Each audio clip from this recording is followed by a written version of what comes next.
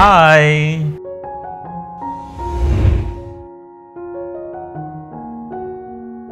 Hi, I am Dr. Vimee Bindra, gynecologist and laparoscopic surgeon at Apollo Hospitals, Hyderabad, and I also specialize in endometriosis excision surgeries. Today we will be talking about medical treatment of endometriosis. So, a big question is endometriosis treated with medicines? The answer is no. Endometriosis can only be treated by excision surgery.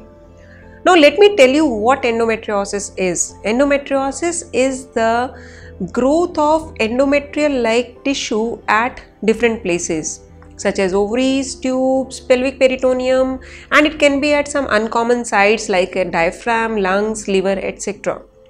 So, this endometrial tissue makes its own estrogen and other hormones and it keeps on growing irrespective of the estrogen of the ovaries and uterus. So what happens is when this uh, estrogen activation happens, this endometrial tissue grows and it invades the tissue. It grows inside the tissue, it forms ovarian cyst, it forms adhesions, it hampers fertility and it causes pain also.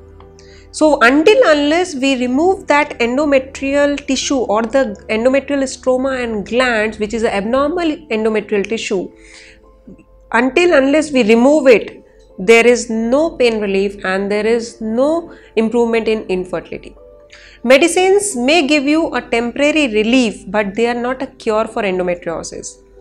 Endometriosis has a high recurrence rate, does not give you complete cure as well. But if your surgeon is good at doing endometriosis excision, you will have a good disease free interval of at least 5 to 10 years. There are many pharma companies coming with newer newer drugs like GnRH analogs, Dynogest.